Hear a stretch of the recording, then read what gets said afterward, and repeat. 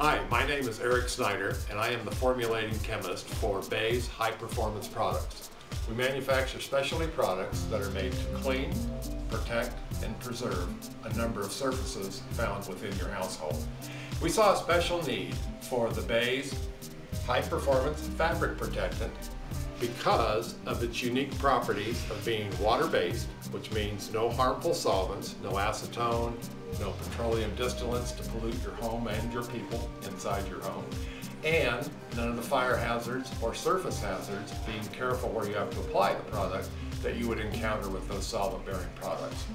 Bayes High Performance Fabric protection sprays on to any number of household fabrics, upholsteries, chair coverings, carpets, any number of fabrics that can absorb a protectant product to help protect it against both water and oil-based residues. Commonly known silicone protectants only protect against water-based residues. As well as water-based protection, Bayes high-performance fabric protectant also gives you protection against oil-based kind of spills, such as mayonnaise and margarine, those type of things that may leave an oil stain.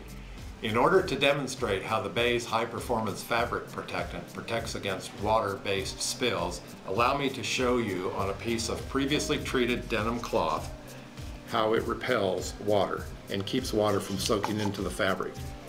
As you notice, the water beads collect even after extended periods of time. They roll around on the fabric without penetrating into the fabric and roll right off the fabric so if you should happen to have a water-based spill on your fabric after treatment, you simply blot it up with a towel or a sponge, wring it out, dry it off with another towel, and you're done. To further demonstrate the remarkable characteristics and features of the Bayes high performance fabric protectant, we're now going to pour some water into a partially treated paper towel.